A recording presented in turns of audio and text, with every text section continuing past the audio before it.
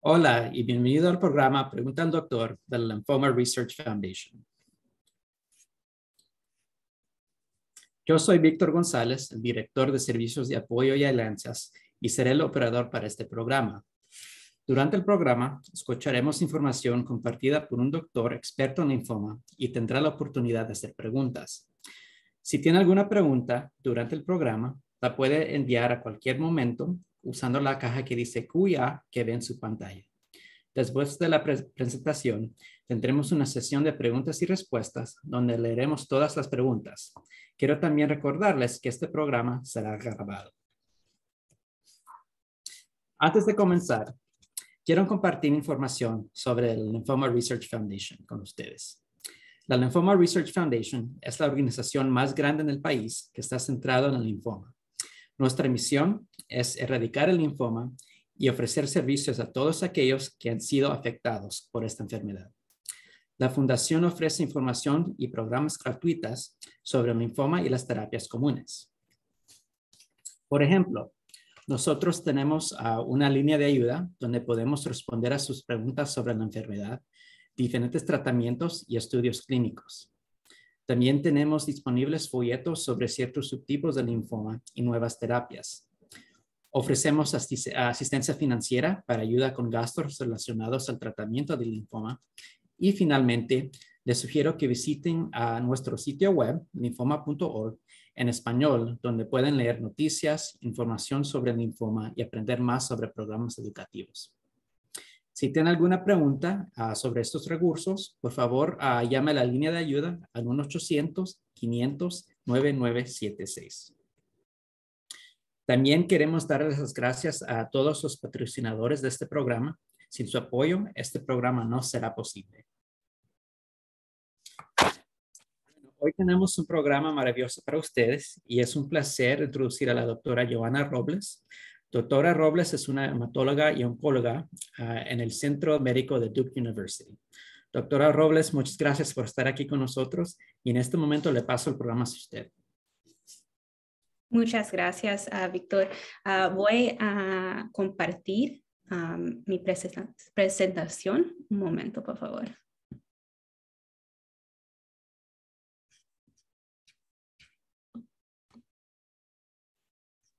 Entonces, yo soy Joana Robles, yo soy una hematóloga oncóloga en la Escuela de Medicina en la Universidad de Duke.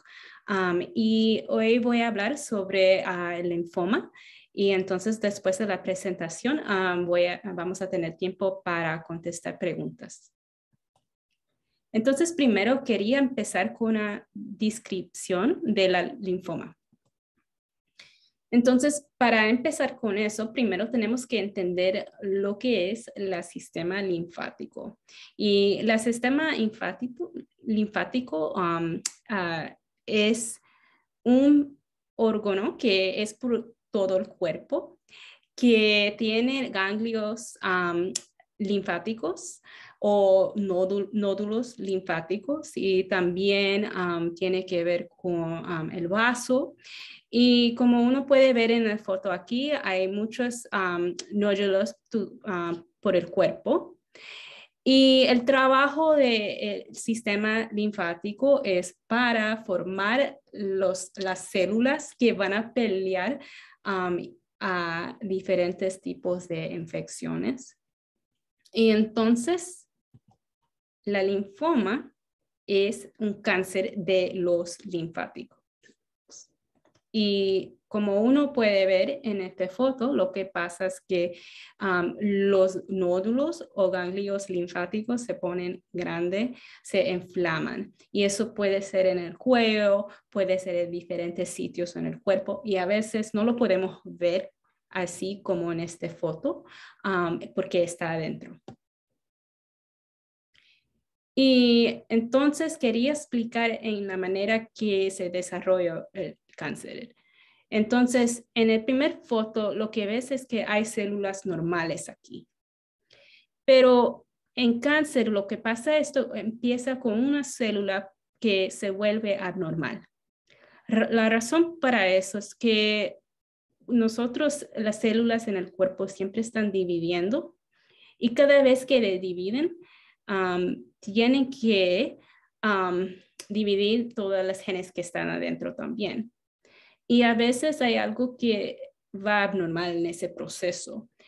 Y en ese proceso, una de esas células se puede ponerse anormal y empieza a dividir más rápidamente y, y todo, entonces esa área que era normal se pone anormal y empieza entonces a volver cancerosas. Hay diferentes tipos de linfoma. Hay el linfoma Hodgkin y el linfoma no Hodgkin. Y eh, entre el linfoma no Hodgkin hay linfomas de las células B y linfomas de las células T. Entonces, muchas veces nosotros siempre lo dividimos en esas dos categorías muy grandes y entonces entre el linfoma no Hodgkins hay muchos diferentes tipos de linfomas. Entonces, primero a mirar los linfomas de células B. Hay muchas que ves aquí, pero lo más que nosotros vemos es el CLL, Ah, también vemos la de, de la de, linfoma de las células B ah, y hay muchas otras también que vemos. En la linfoma de las células T, tenemos muchos diferentes tipos. Hay algunas que son en la piel, hay algunas que son durante el, cuerpo. Y lo más que nosotros vemos ah, normalmente son la de las células T, pero claro, cada tipo ah, lo puede presentar diferente y puede tener diferentes síntomas. Pero los síntomas del linfoma en general muchas veces se presenta con inflamación de los nódulos linfáticos. uno puede notar que, hay inflamación y puede ser por el cuerpo entero. Como te enseñé en el primer foto, hay uh, diferentes, hay nódulos por todo el cuerpo, entonces puede ser en el cuello, en la axila y, puede ser en la barriga a veces que se pone inflamada el vaso.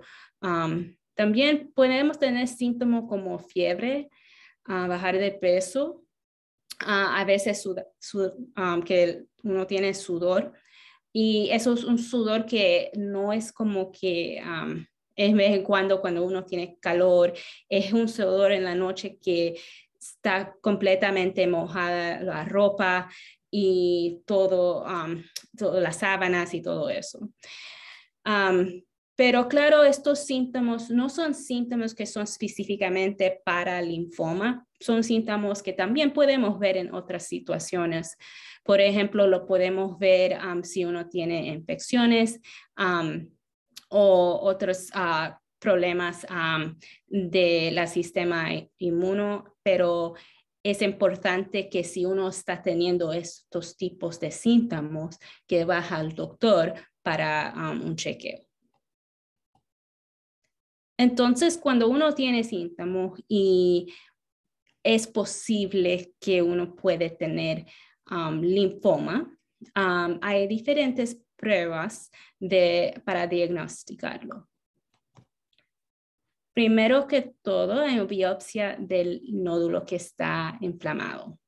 Um, como uno puede ver en esta foto, uh, puede ver que le cortaron para sacar seguro la nódulo, el nódulo entero. A veces ellos hacen eso, pero también a veces hay tipos de biopsias que lo hacen con una aguja y depende de la situación en cual ellos ah, recomienden.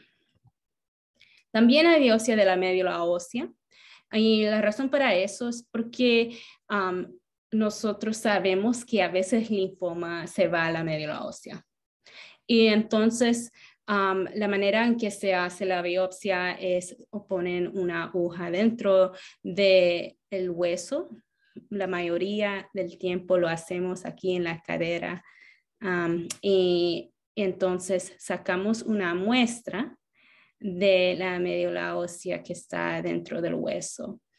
Y eso nos dice si hay linfoma. A veces lo tenemos que hacer en los dos lados.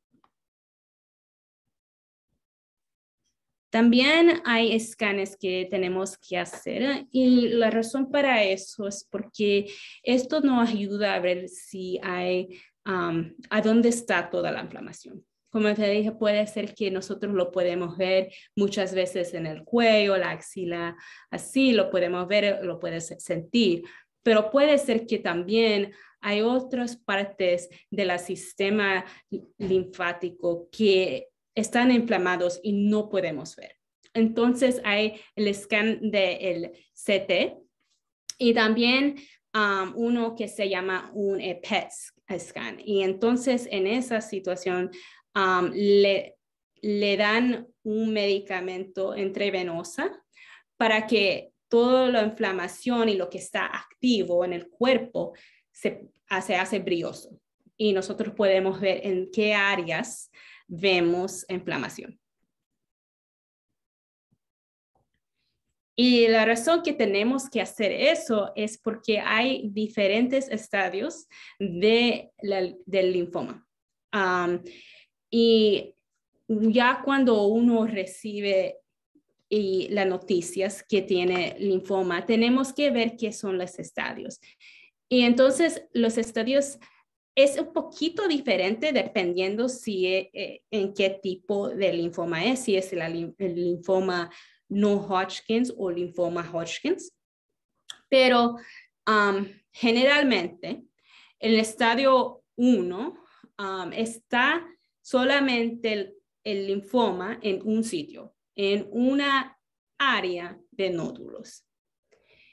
En estadio 2 lo vemos que hay varias áreas, pero que están en un lado del, cuerpo. Entonces, nosotros usamos para decir que está arriba del pecho o abajo del pecho.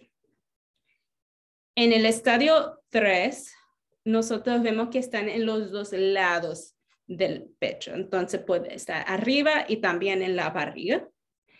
Y en estadio 4 vemos que está también en otro sitio, por ejemplo, en los huesos um, y a veces um, puede entrar um, en el sistema de, de la columna dorsal de, del cerebro.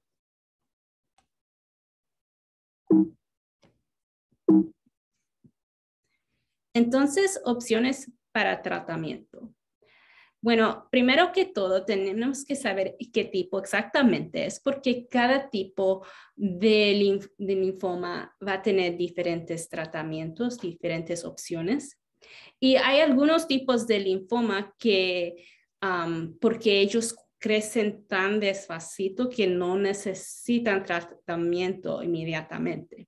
A veces pueden monitorear y, chequear y hacer scans y hacer, y hacer ah, pruebas de la sangre ah, para chequear en cómo está el cuerpo, pero todo depende en el tipo, el estadio y dónde está el linfoma. Pero la mayoría del linfoma cuando lo tratamos hay diferentes categorías de tratamiento quimioterapia. muchas veces es un tratamiento que nosotros usamos para tratar el linfoma. También estamos aprendiendo y usando la inmunoterapia mucho más ahora. Y también radioterapia y trasplante de la médula ósea. Y voy a hablar un poquito de cada de estos tipos de tratamiento.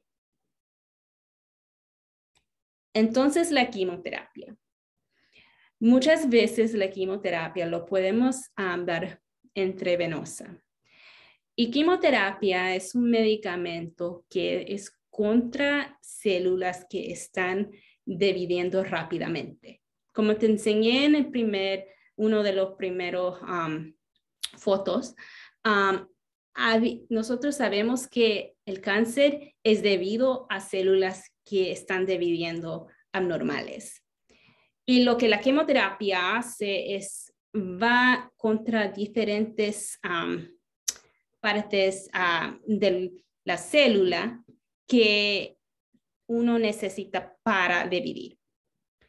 Y entonces damos esa quimioterapia intravenosa, a veces lo damos por, por ah, un puerto, un catéter implantable. y eso a veces tenemos el catéter debajo del piel y a veces el catéter está afuera y, y ellos tienen que poner, poner como algo para cubrirlo mientras uh, que, estás, que tienes ese catéter puesto. y el tipo de catéter que ellos escogen o recomiendan tiene que ver con el tipo de quimioterapia. Y hay veces que el tratamiento no necesita un catéter que es implantable. Entonces, la inmunoterapia, lo que eso usa, eso usa el, sistema inmunológico para pelear a las células cancerosas. Entonces, nosotros tenemos um, la sistema inmunológico para, um, entonces, pelear a infecciones y diferentes enfermedades. Pero en este caso, nosotros, lo, que, lo que nosotros estamos haciendo es tratando de coger diferentes maneras para que nosotros podemos decir a nuestro cuerpo que tiene que pelear a esas células cancerosas. en esta foto usted puede ver que hay un anticuerpo monoclono, que es un tipo de tratamiento que usamos para el linfoma. Y lo que hace eso es que es contra alguna parte que está encima de la célula cancerosa para decirle que al, cuerpo de nosotros que tenemos que atacar esa célula cancerosa. Y esta foto para enseñarse que cómo trabaja muchas de estas um, uh, inmunoterapias.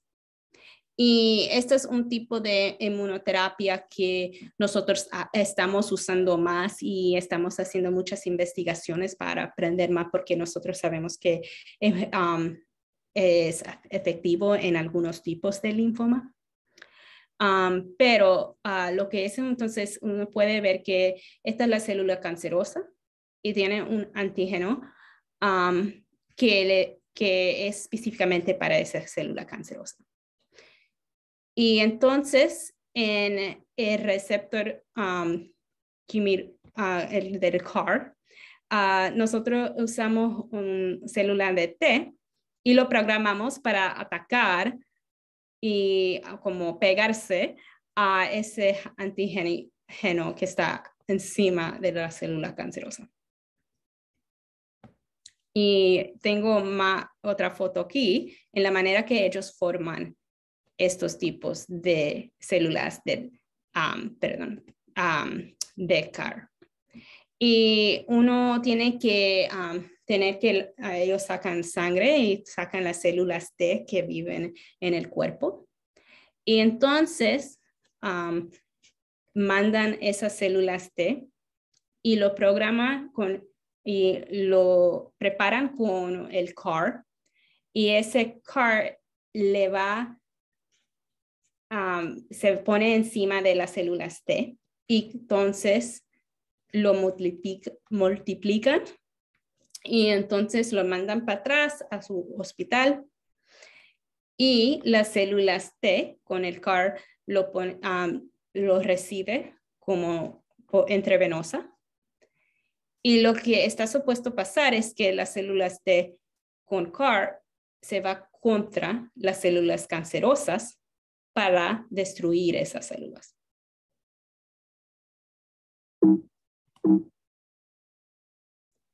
Otra manera en que nosotros tratamos a linfoma es el radioterapia. Y radioterapia es usando rayos para que son muy altos en el dosis para matar a las células cancerosas. Normalmente este tratamiento es todos los días por un tiempo. muchas veces como lo hacen lunes a viernes y lo hacen por algunas semanas. Depende en el tipo de linfoma, depende en dónde está el linfoma y el estadio del linfoma. y ellos tienen que tener unas máquinas y programas y doctores especial para hacer este tipo de terapia. Y otra terapia que usan para linfoma uh, es el trasplante de médula ósea o de las células madre. Y a veces eh, depende en el tipo de linfoma, depende en los tratamientos que uno ya ha tratado, por ejemplo, en el Hodgkins, muchas veces no lo hacen al trasplante inmediatamente, pero lo hacen si regrese o si no responde a los primeros tratamientos. pero lo que pasa aquí es que es similar al proceso del de las células T de, con CAR en la manera que tienen que sacar la sangre. y a veces el donor, donor es uno mismo y a veces el, otra persona, depende de la situación. Y se extraen esas células madre del donante. así puede ver en la foto, es una máquina de aferices que saca esas células y entonces lo colectan y lo procesan en un laboratorio y el paciente entonces recibe esas células a la sangre después de recibir quimioterapia, porque lo que pasa es la quimioterapia recibes un dosis muy alto para que se mata todas las células malas, pero también lo que va a pasar es se mata células que son importantes, que nosotros necesitamos en la médula ósea. Y ahí pueden dar las células madres um, o las células de la médula ósea que colectaste antes para que uno se puede recuperar de esa quimioterapia que era tan fuerte.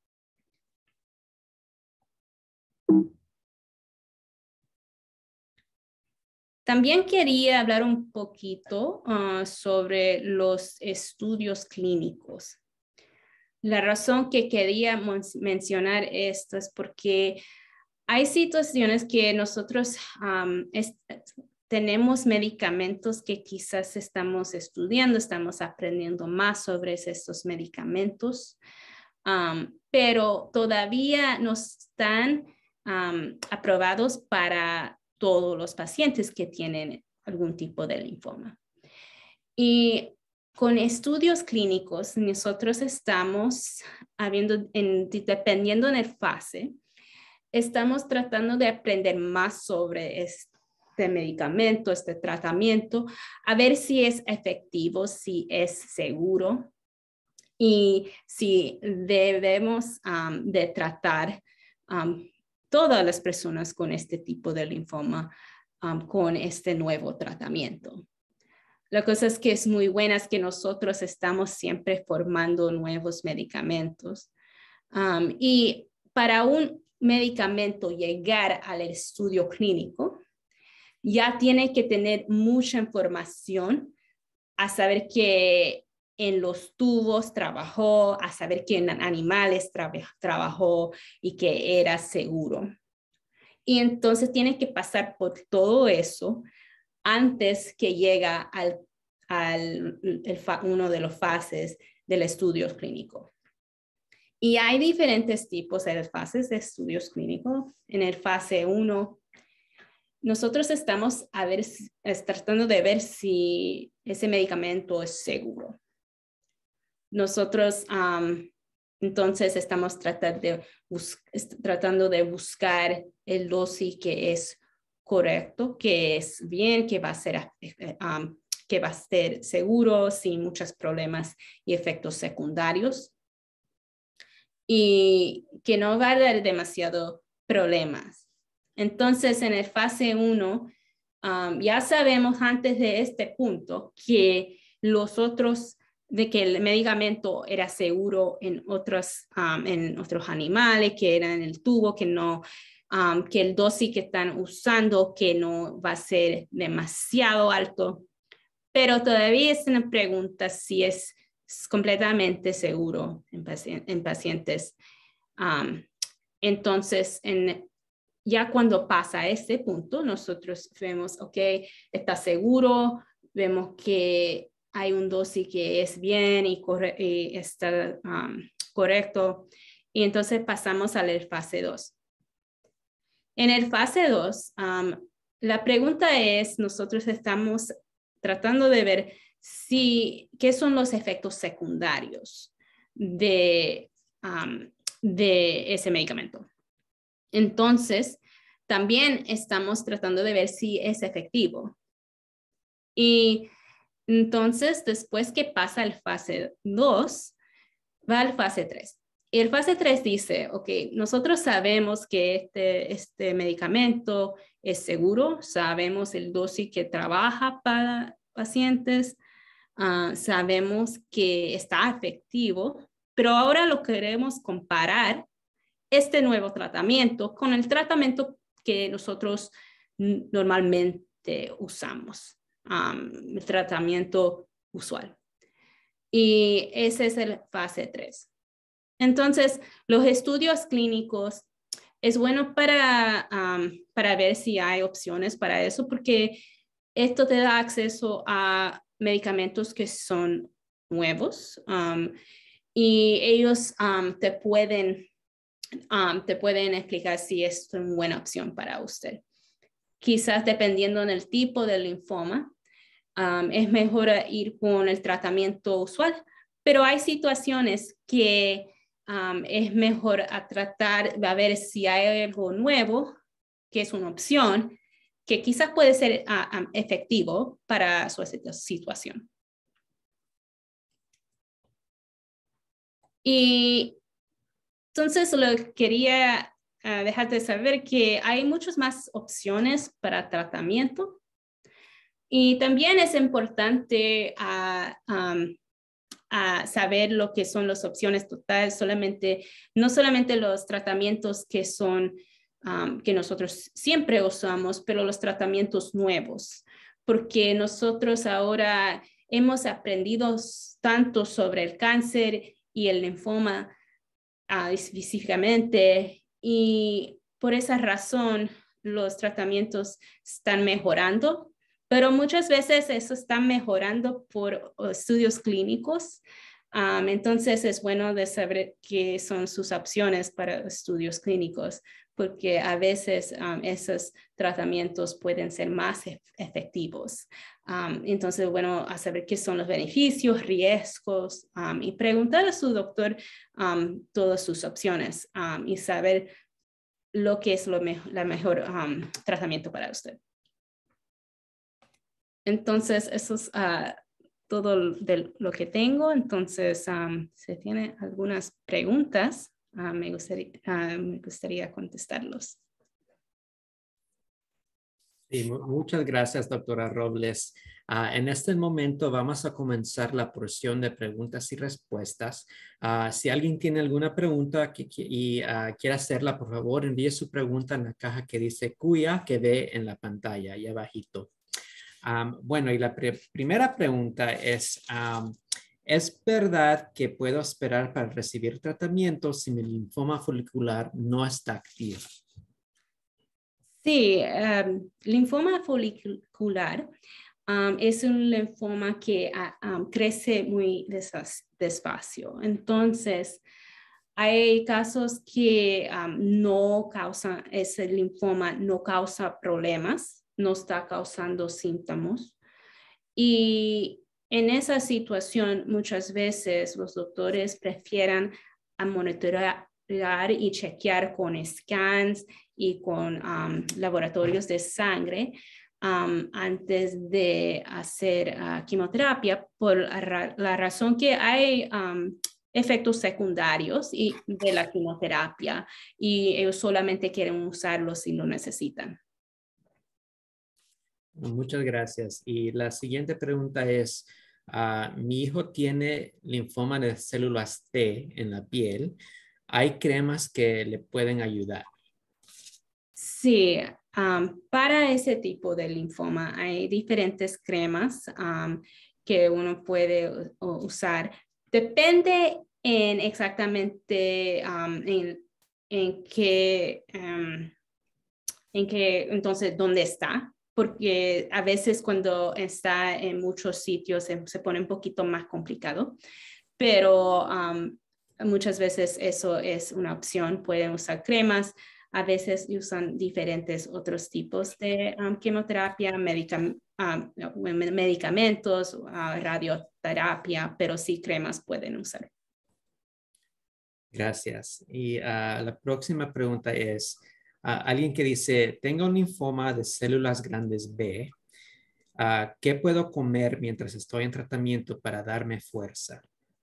Sí, esa es una pregunta muy buena y algo que muchos pacientes y familias me preguntan, pero es importante de comer comida saludable, entonces una comida que tiene mucha balanza, que tiene la proteína, que tiene los vegetales, fruta, un poquito de todo, si puede, algo que, que no es muy grasoso tampoco.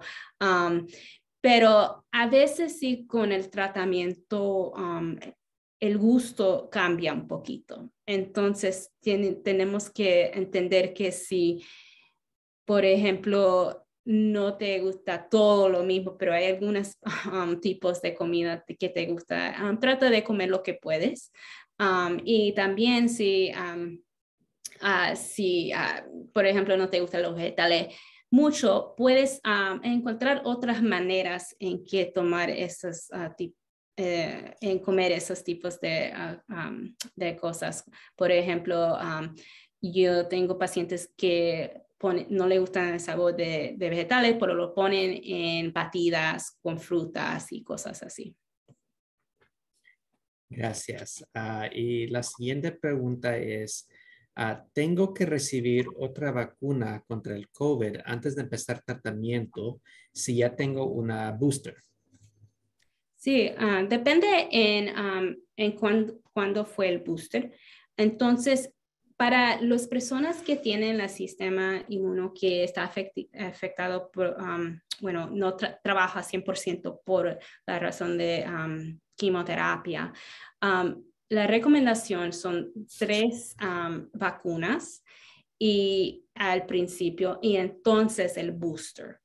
Entonces es posible, dependiendo en cuándo recibiste el booster, que quizás su oncólogo quiere que usted lo recibe la vacuna antes de empezar la quimioterapia. La razón para eso es porque nosotros sabemos que si lo recibe durante quimioterapia, no va a trabajar 100% como debe trabajar, porque um, las defensas están bajas y también los eh, procesos en el cuerpo que uno uh, forma, el anticuerpos uh, puede ser afectado, entonces no puede, no siempre trabaja 100% como debe de trabajar.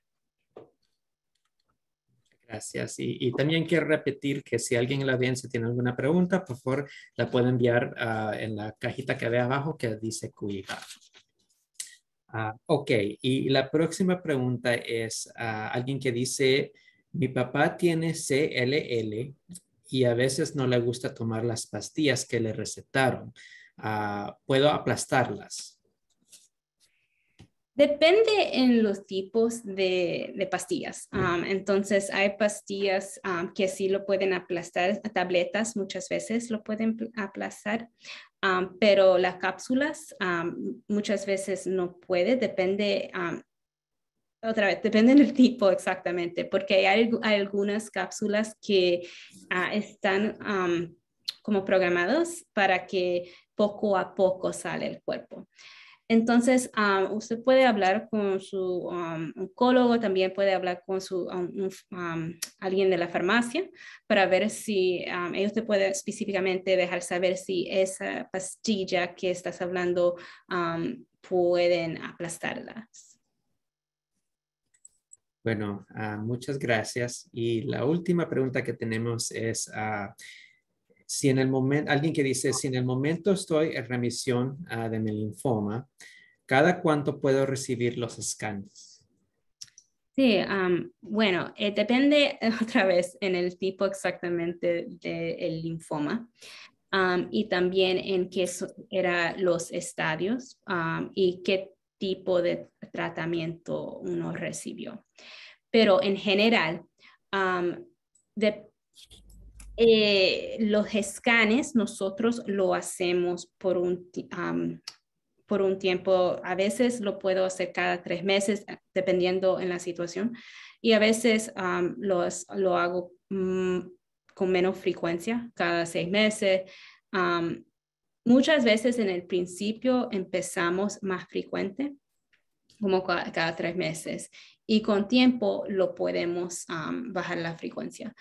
La otra cosa que nosotros sabemos es que con algunos de tipos de, linfoma, especialmente los linfomas que crecen muy rápido, muchas veces empezamos con escanes en el principio, pero a veces paramos porque nosotros sabemos que si uno va, eh, se va a regresar el linfoma, normalmente vemos los, los síntomas muy rápido y no siempre, lo, no siempre necesitamos los escanes para, para chequear si va a regresar, porque uno va a tener síntomas si regrese, pero eh, depende en el tipo del linfoma. Bueno, y ya no, ya no tenemos más preguntas. Entonces, doctora Robles, gracias una vez más por estar aquí con nosotros. y para todos los otros participantes, en algunos días recibirán un correo electrónico ah, con una forma de evaluación para este programa. Ah, le pido que por favor complete esta evaluación para ayudarlos a hacer programas más útiles para ustedes. Y ah, otra vez, si alguien tiene alguna otra pregunta, por favor, no, ah, llame nuestra línea de ayuda al 1-800-500-9976. Otra vez es el 1-800-500-9976. Ah, que todos tengan un buen día y muchas gracias otra vez. Adiós.